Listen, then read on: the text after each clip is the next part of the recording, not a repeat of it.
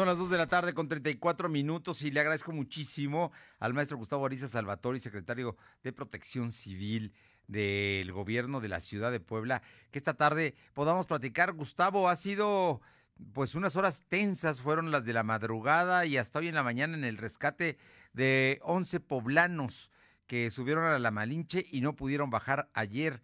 Muy buenas tardes y muchísimas gracias, Gustavo. Mi estimado Fer, al contrario, muchas gracias a ti por el espacio. Oye, yo sé que te toca trabajar, pero lo de hoy han de haber sido pues horas difíciles en términos de que, de que regresaran como al final de cuentas sucedió esta familia eh, sana y salva. Sí, mira, fíjate que desde la noche eh, empezó a trabajar todo el equipo para hacer el campamento base, sacar toda la, la ruta que se iba a seguir.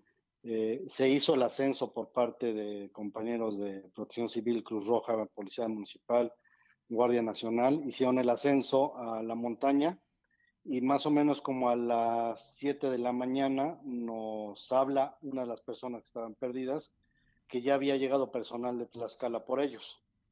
Entonces, este, pues prácticamente a dos kilómetros de ahí tuvimos que, regresar. Regresamos a, a Canoa nuevamente y ellos, este, pues desafortunadamente los subieron, los hicieron hacer montaña, hacer cima, perdón, y los bajaron por el lado de, Tlaxcala. Este, sí, fue una noche de, mucho trabajo para, todos y afortunadamente están bien los, las personas estas que, se perdieron.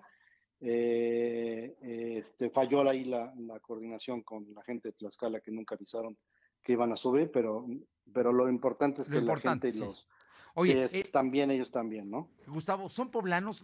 ellos subieron por, el, por, por allá por eh, eh, la Junta Auxiliar de San Miguel Canoa. Sí, de Canoa, exactamente. Ellos subieron por Canoa, una familia de 11 personas, subieron por la Junta Auxiliar de Canoa y subieron unas veredas. Ya al hacerse noche, al empezar a oscurecer, decidieron mejor quedarse en el lugar, no, no moverse, porque hay muchas barrancas donde pueden caer y inteligentemente se quedaron en el sitio, hablaron al C5 y como digo, se empezó a preparar todo el dispositivo para que subiera todo el personal por ellos. Oye, bueno, en ese sentido creo que además hay que reconocerlo, es el trabajo de protección civil que tú encabezas. Estamos, me, comentas que hubo gente de la Cruz Roja que también estaba pues ahí eh, preparándose en la noche para poder ascender a la primer, con los primeros rayos del sol, ¿no? Para, para, para dar seguridad y también la gente de la Guardia Nacional y de la Policía Municipal. O sea que todo un equipo de Puebla estaba listo para el rescate. Pues fíjate que, todos listos y, y, se hizo el ascenso, más o menos como a las 2 de la mañana se hizo el ascenso. Ah, a las 2 de la mañana. Sí, se hizo el ascenso a las 2 de la mañana, se hizo toda la operación de noche y como te digo, a las 7 de la mañana, ya casi llegando a donde estaban ellos, nos hizo favor de, una de las personas que estaban perdidas de avisarnos que ya había llegado la, la gente de Tlaxcala bueno, ya finalmente también hay que reconocerlo, pues, si los agarraron del lado de Puebla, pues ellos tuvieron que ascender y luego bajar por el lado de Tlaxcala, pero pues esa ya es la historia, simplemente la anécdota, lo importante es que todos los menores de edad, porque iban menores de edad y, los adultos están bien. Están bien, están en perfecto estado, nos reportan, eh, ya tuvimos contacto con ellos también, nos reportan que todos están bien afortunadamente y eh, ninguno lesionado ni mucho menos, nada.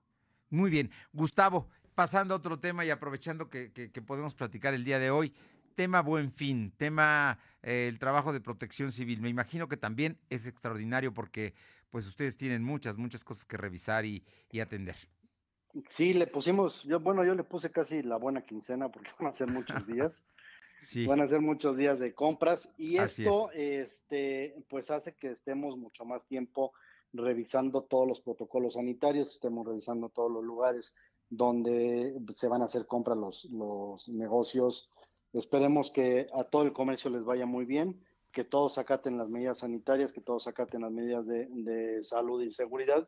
Y como te digo, estaremos eh, dando y haciendo todos los recorridos en la capital precisamente para garantizar que la gente que acude a los lugares, a los supermercados, a, los comercios donde van a adquirir sus cosas, lo hagan de manera segura, que tengan todas las medidas sanitarias para que la gente acuda, también para que los empleados, los dueños, los empresarios pues, estén cuidados también de la gente que, que acude a estos, a estos lugares, a estos puntos, y eh, pues transcurre, transcurre, con normalidad, ¿no? Tenemos que revisar lo que es la seguridad ya de, de por sí de protección civil y, los que, y lo que son todas las medidas sanitarias que también nos, nos, corre, nos corresponde revisarlas para que este, pues sea un fin un buen fin largo muy bueno, ¿no? Sí, no, pues como bien dices, son, es una quincena porque está empezando el 9 y va a terminar el 22. Jura lo que van a aprovechar el siguiente fin de semana, ¿no? Yo creo que... Así es, y, y, que lo hagan con calma, ¿no? Hay muchos días para hacerlo, los empresarios también tienen muchos días para vender.